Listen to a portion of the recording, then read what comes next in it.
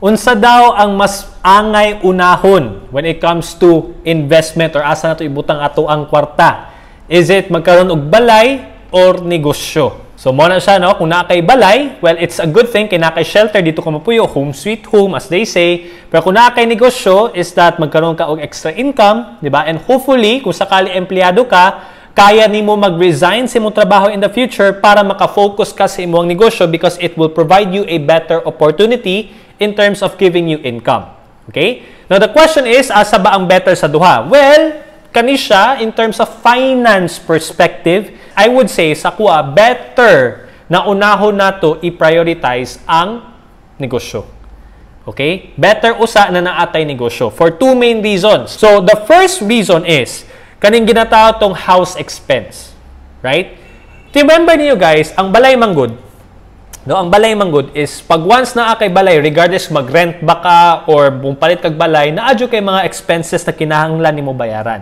And those are your utility expenses kung sakali pod na medyo tiguwang mo na ang balay na ay mga repairs na kailangan nimo bayaran. On top of the electricity bill, water bill, and whatsoever. Di ba? Maintenance nimo, pagdimpyo nimo sa balay, mga cleaning supplies, kana siya. Those are expenses.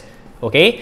Now, ang negosyo sad, tinuod na na ay expenses jud ang negosyo kung mag-hire ka og mga tao para sa imuhang mga operating expense, mga equipment nimo na po kay ginabayaran. Ang kalahian lang manggod is that kung sakali na akay balay and you're not going to convert it to something na makahatag sa imong income compared nimo sa sa negosyo na naay chance and with the intent na magkaroon ka og income is mas mag-make sense ang negosyo kay naa siya ginahatag sa imo na income stream compared sa balay.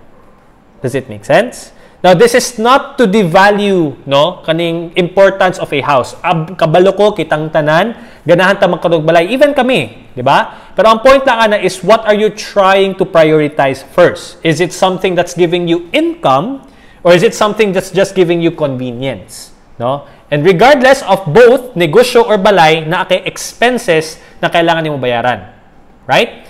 Which brings us to the second point which is pwede manggod para sa mua nganong better kung na negosyo kay pag once ang imuhang business will have great profits in the future obviously kailangan mo siya paningkamutan di ba? It will expand magkaroon na ka og ng better products and then you have more demand from the marketplace hence you will have more sales and more profits in the future. The profits or the proceeds na makuha nimo sa negosyo mao mong pwede gamiton para pangpalit og balay which can pay for your house expense as well, utilities and all.